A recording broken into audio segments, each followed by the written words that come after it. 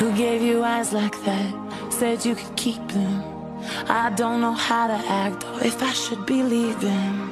I'm running out of time, going out of my mind. I need to tell you something. Yeah, I need to tell you something.